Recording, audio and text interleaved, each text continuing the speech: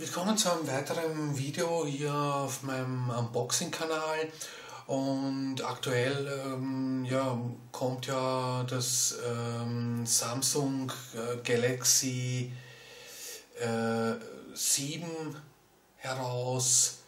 Und das äh, S7 Edge ist heraus und das Galaxy Note 7 äh, kommt heraus. Und, und das äh, S7 Edge ist ja heraus, also äh, Samsung schon bei der Version 7. Äh, ich möchte jetzt nicht ähm, eines dieser neuen Geräte vorstellen, sondern einmal einen Rückblick geben, wie die Entwicklung bei Samsung vonstatten gegangen ist. Und da möchte ich eben zwei ältere Modelle vorstellen. Das ist hier zum einen das Samsung GTS 5230 und dann das äh, Samsung Galaxy S Duos 2. Das sind diese beiden Geräte und wenn man sich das Ganze anschaut, dann äh, sieht man hier, das kleinere Gerät hat ein größ eine größere Verpackung wie das größere Gerät und ja,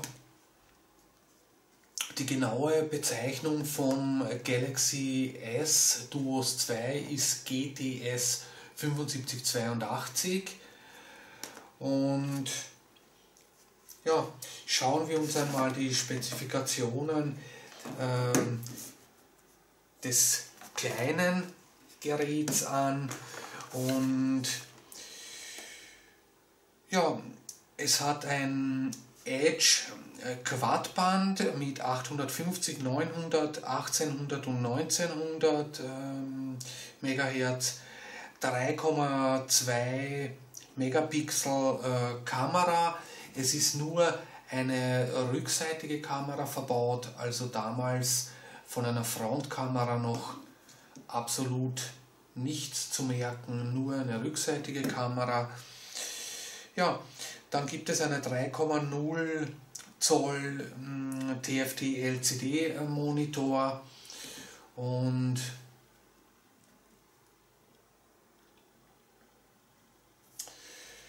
ja, TouchWiz 1,0, also es war schon ein, ein Touch-Display, aber eben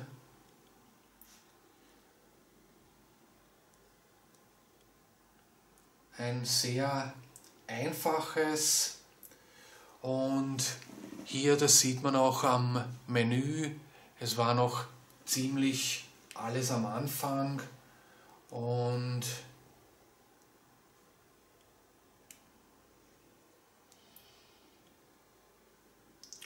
ja, auch die Kamera mit 3,2 Megapixel ist ja, ziemlich, ziemlich weit weg von, von dem Stand, was wir heute kennen. Ja, dann gibt es ähm, ja, verschiedene Apps, MP3-Player, FM-Radio, Bluetooth ist verbaut. Ja, das die Spezifikationen des kleinen Geräts und dann habe ich hier eben das Samsung Galaxy S Duos auch schon ein älteres Gerät und es hat eine Frequenz von HSBA Plus mit äh, Dualband 900 äh, und 2100 äh, MHz, dann Edge und GPRS, Quadband 850, 900, 1800 und 1900 MHz. Es ist ein Dual-Core-Prozessor äh, verbaut mit 1,2 GHz Dual-Core, dann ein 4 Zoll TFT LCD Monitor. Hier ist dann schon ähm, ein 5 Megapixel, äh, eine 5 Megapixel Kamera verbaut, äh, hinten und vorne. Also hier hat man vorne die kleine Kamera und auf der Rückseite eben die bekannte Samsung-Kamera. Ja, dann hat man eben auch hier ein Touch-Display für, für Android, GPS, Geotagging und so weiter. Also viel hm, das ähm, äh, Praktische bei diesem Gerät ist, dass man zwei SIM-Karten auch schon einstecken kann, äh, Dual-SIM somit und hier sieht man dann auch äh, schon den Unterschied, also das ist das, was man eigentlich schon von Samsung kennt, also die ganz normalen, äh, das ganz normale Menü.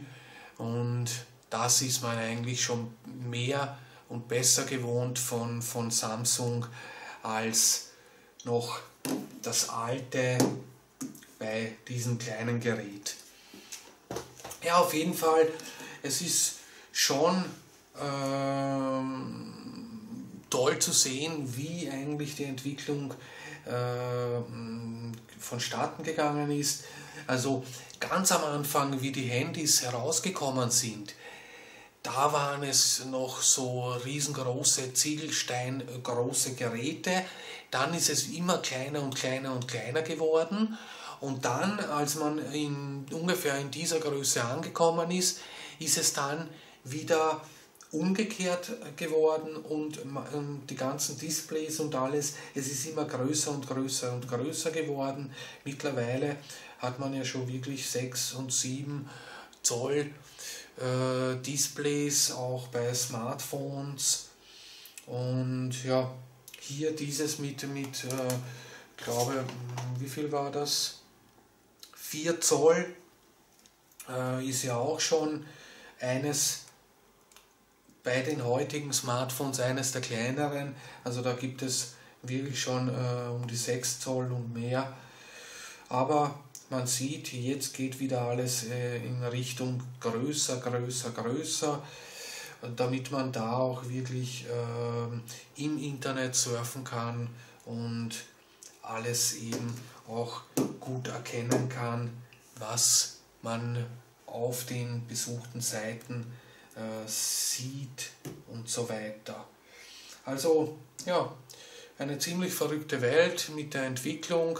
Zuerst gab es ja ganz große Handys, dann die Entwicklung zu ganz kleinen Handys und wie man bei ganz kleinen Handys angekommen ist, geht jetzt die Entwicklung wieder zu immer größeren Smartphones hin und ja, kann man eigentlich mit den älteren Handys äh, nicht vergleichen. Also ein Smartphone und ein Handy ist, ist von, von der Anfangszeit ganz etwas anderes.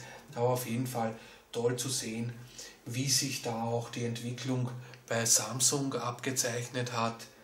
Und